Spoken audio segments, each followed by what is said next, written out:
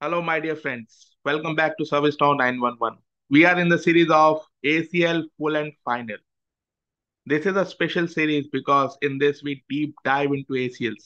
We start with the very basics, we start with the small steps, and we deep dive into a much complex scenarios of ACLs.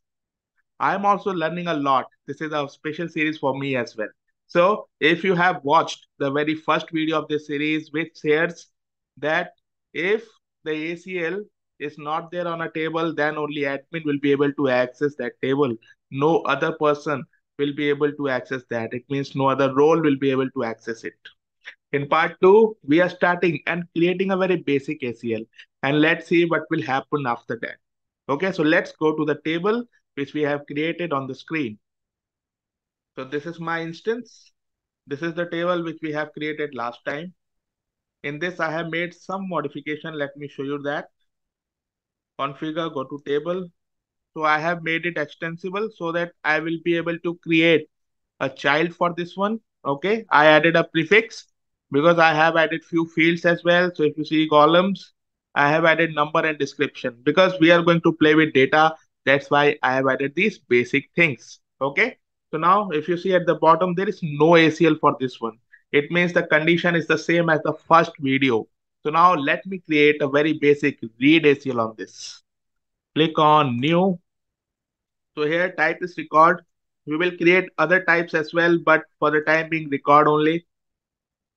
Operation is let's say read. Okay, this is a very basic operation.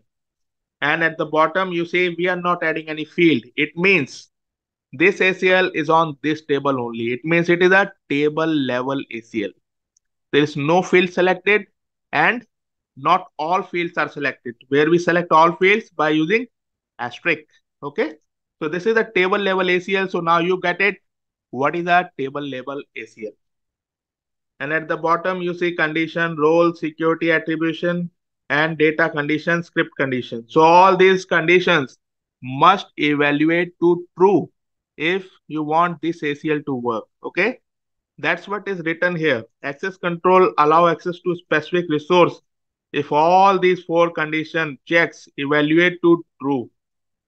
So right now we are not doing anything. We are not adding anything in any of these four things. It means if there is nothing, they are returning true. Okay. So now let's see what will happen. Let me save this. Congratulations. We have created one ACL. Okay. So now let me access this particular table. As an admin, I have no issues. Now let me impersonate to ITIL user. This is ITIL. This is Abel Tuter with no role. So let's give some preference, you know, respect to this ITIL madam.